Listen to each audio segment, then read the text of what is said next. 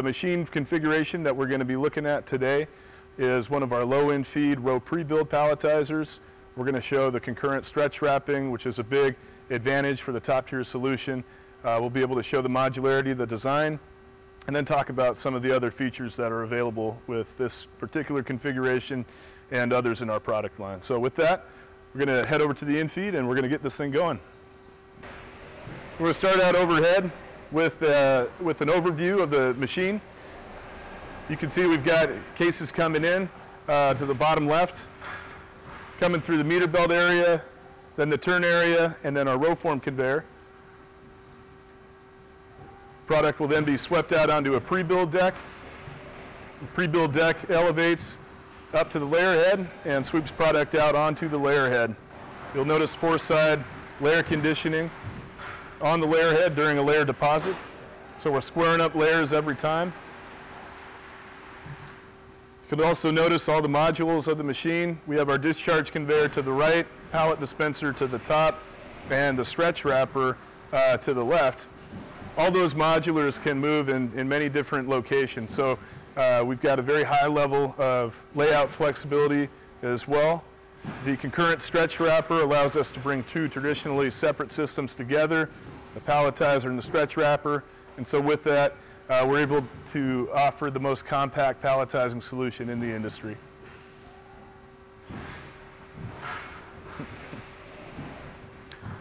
So TopTier offers a comprehensive line of both low-end feed and high-end feed layer conditioning palletizers, all available with concurrent stretch wrapping. We also offer a low-cost entry-level uh, robotic pick-and-place palletizer, and for bag applications, we've got our hybrid RoboTier palletizer.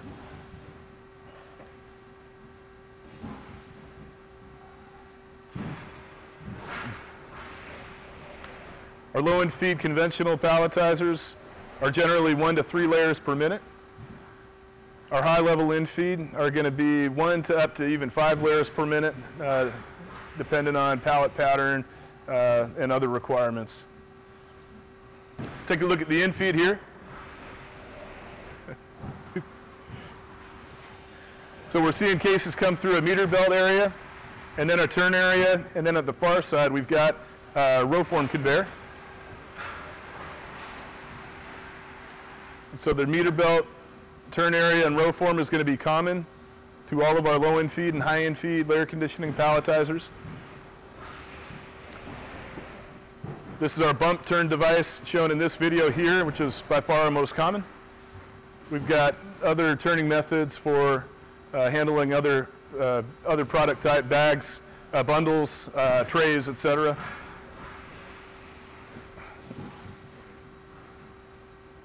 I'm standing here at the discharge. We're going to be able to see the concurrent stretch wrapping in action here. So we're just going down to deposit a layer. Once we've deposited that layer, our turntable in the load build area is going to rotate. We've got our stretch wrap mast on the back end. We can switch over to the stretch wrap view.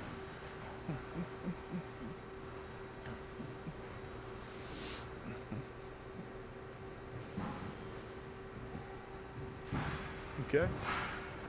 So here we've just put the top layer of the load uh, onto the pallet. We have done our wrap finish sequence.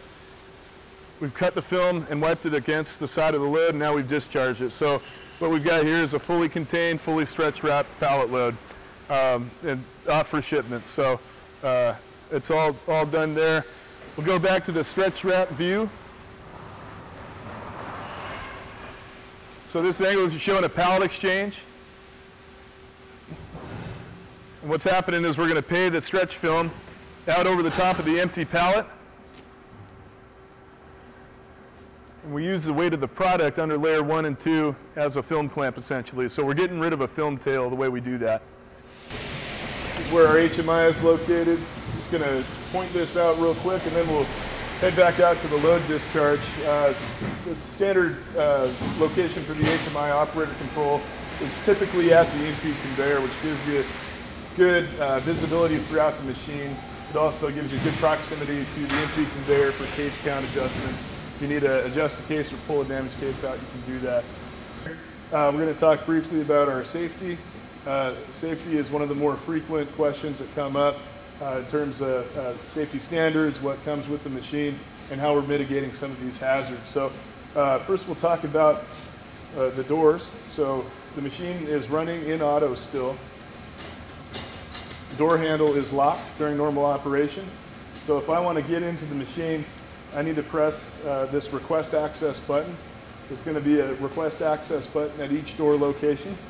And so once I press this, the machine will go into a planned stop. Once it confirms it's in a safe state, it'll go green, and then I can open the door. So on the back of each door latch assembly, I've got an internal release handle here. If someone were to become inside the cage and need to get out, they can quickly get out and send the machine into an e-stop condition.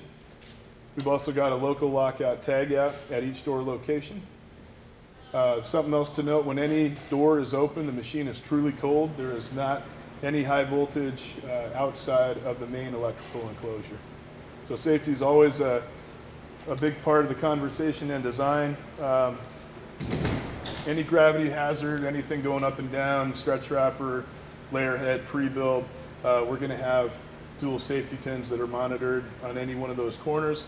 And so we'll be able to ensure that uh, those pins are engaged before confirming we're in a safe state. Maybe the last element of our safety features that I'll talk about, the only open side of the enclosure is going to be our load discharge where we have a set of light curtains there. So uh, during operation, the light curtains will be engaged. If they are tripped, uh, the light curtains will send the palletizer into an e-stop condition. Uh, when a discharge is happening, um, it is muted. Check out our website, toptier.com, and please reach out. We'll see you. Thanks.